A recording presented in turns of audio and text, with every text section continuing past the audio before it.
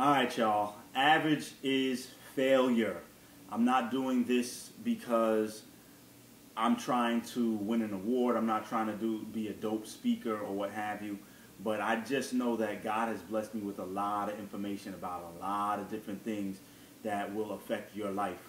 Um, and I want to pour it out to you. He's positioned me right now to be uh, able to do a lot of work with individuals who uh, really haven't had a, a, a strong family structure, uh, individuals who have had done long stints in being incarcerated or what have you, and are trying to uh, jump back into the job market.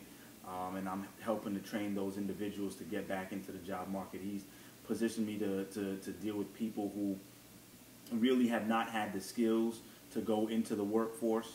Um, you know, people who have uh, struggled this, with substance abuse, uh, people who have just had a lot of what we call like societal strikes against them, um, you know, in the D.C. area.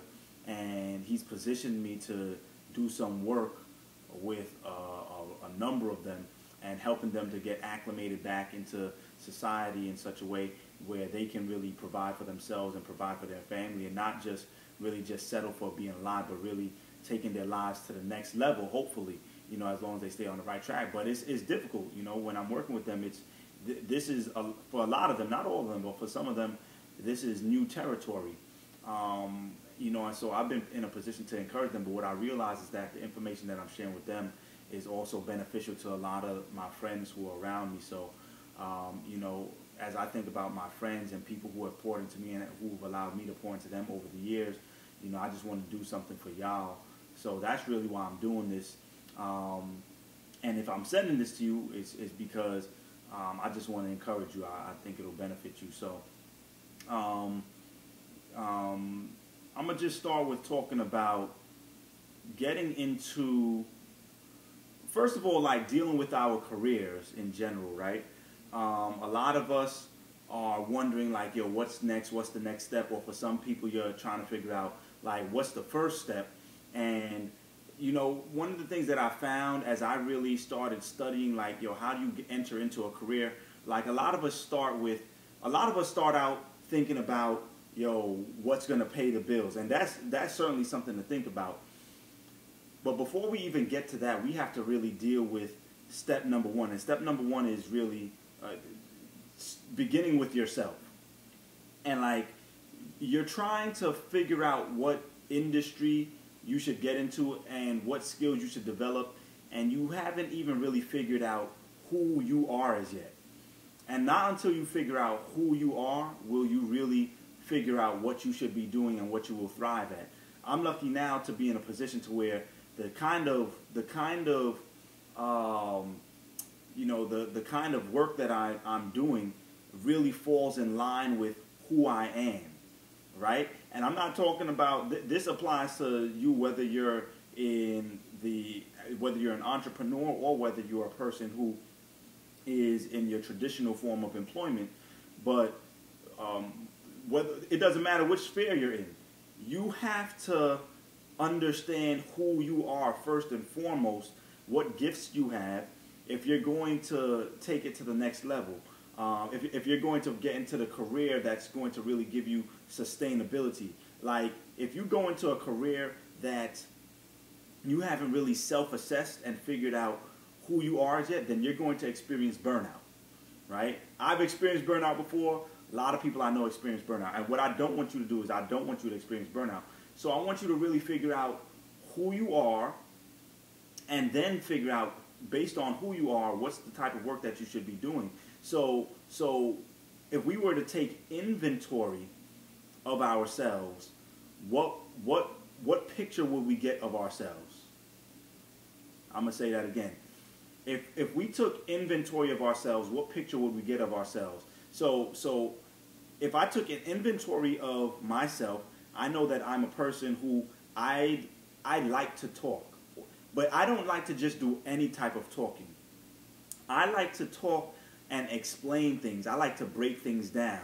I like to show people how something is working, why it works that way. You know, what's what's kind of the the I, I like to figure out how do I tell somebody in a streamlined way and explain to them in a, in a way that's streamlined so that they can get the full picture and understand the process of how to get from point A to point B or how we've gotten from point A to point B. So I like things such as politics, like, like I, am interested in, in, in, politics and, and, and why government, why, what are the policies that shape certain things. I'm interested in how do people um, figure out how to become successful. How do people uh, go from uh, not being where they want to be to all of a sudden going to where they want to be. I'm interested in in seeing okay, what are the things that rile people up?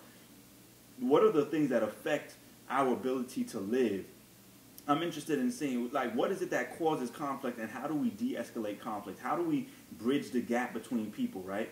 Um, so all of these things kind of led to it, it makes sense that I'm doing the kind of work that I do now whether you talk about uh, professional development, uh, whether you talk about personal development, whether you talk about the work that I'm doing as a pastor, because I am in the business of building people up. Everything that I do is, is, is geared toward building people up, making their lives better.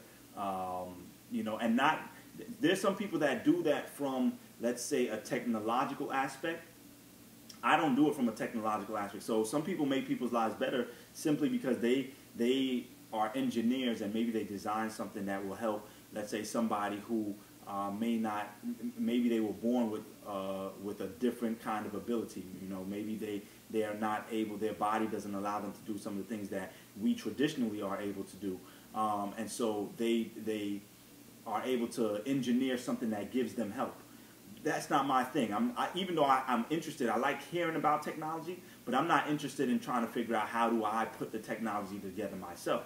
But what I am interested in is having the discussion as far as well, what policies need to be in place to help these types of people. I'm also interested in um, you know what what how do we help this person even if there were to be no policies that come out there on their behalf how do we how do i help this person to figure out what they can do even on their own to get to where it is that they would like to be. Which is why I'm doing these videos, right? I simply said, let me just put my gift, um, the you know my God-given gift, into uh, you, you know just put it out there in hopes that one of you will latch on and that this will be beneficial to someone. So um, I'm going to leave it right there for now. I want you all to just start with uh, self-assessment. This is Vaughn Averages Failure. Matter of fact, what I'm going to do on the next video, we're really going to talk about um, the direction that Averages Failure is going to take. Uh, I really think that God has been giving me some insight as far as what it should mean for um, the people who decide to join up with this movement. So um, that's it for now. Peace out. Averages Failure. This has been your boy Vaughn. Holla at me.